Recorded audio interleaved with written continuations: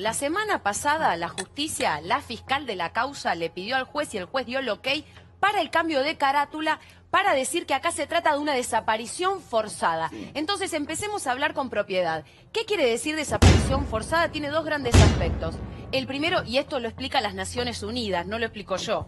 El primer aspecto quiere decir que ha habido agentes gubernamentales interviniendo en la privación ilegítima de la libertad de esa persona, en este caso la gendarmería.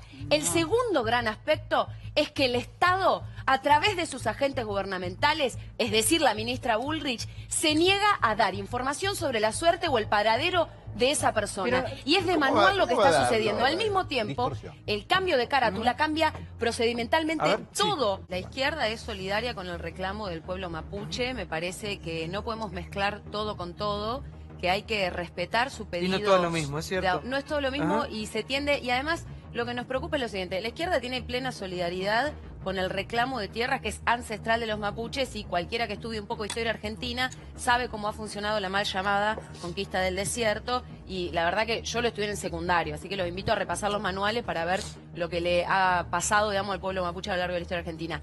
Lo que pasa es que lo que sí nos preocupa sobre esta situación es que se trate de construir un montón de teorías de justificación, de criminalización y de demonización para esconder que no están buscando a Santiago Maldonado porque en los últimos 27 días la ministra ha hablado de la supuesta participación de eh, Maldonado en la RAM. No tenía nada que ver. Eh, que el Jones Guala está pidiendo un Estado mapuche, no estaba pidiendo un Estado mapuche. Que lo habría matado un puestero, no lo mató el puestero, el puestero lo dijo. Que estarían Entre Ríos. Y ahí sí genera esa discusión, che, esto parece la dictadura. Porque en la dictadura, ¿qué decían? Está en España.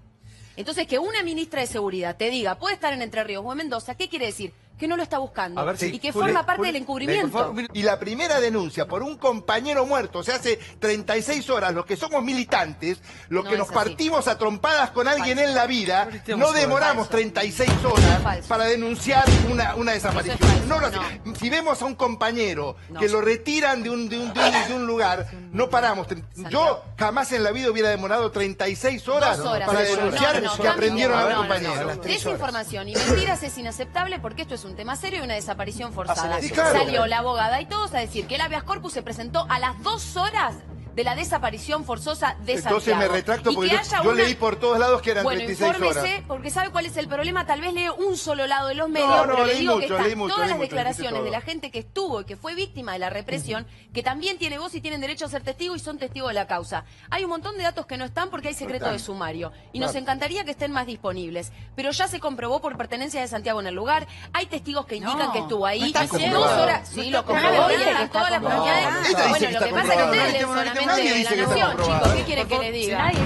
Vos decís que está comprobado. En esto estamos de acuerdo que violencia no quiere nadie, Manuela.